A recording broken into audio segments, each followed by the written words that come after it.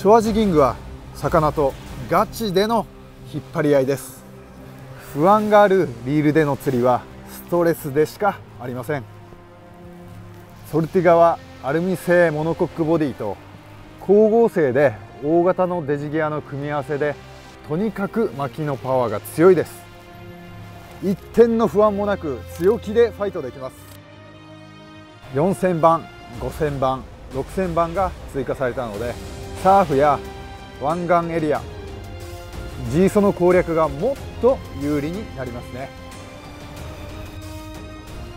アルミ製のモノコックボディなのでコンパクトなんですが大きなギアが入っているのでとてもパワフルです。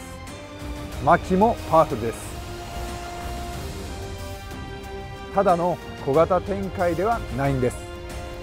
新たにアルミ製のエアドライブローターが搭載されました。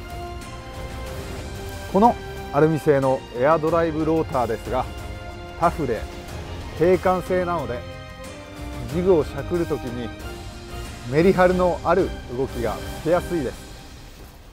スムーズにラインスラッグを巻き取れるので余計な力もいりません。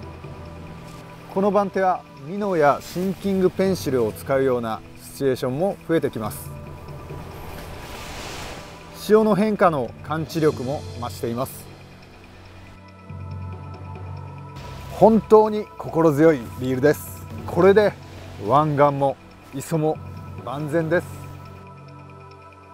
ショアジギングが広まったことでより流れの変化や魚の反応を感知して誘っていくスタイルが広まっていますがこのリールはそんなテクニカルゲームにおいて確実に強い相棒になってくれる存在ですね。大きなアドバンテージになるそんな理由です。是非皆さんにこの強さと操作性を体感してほしいです。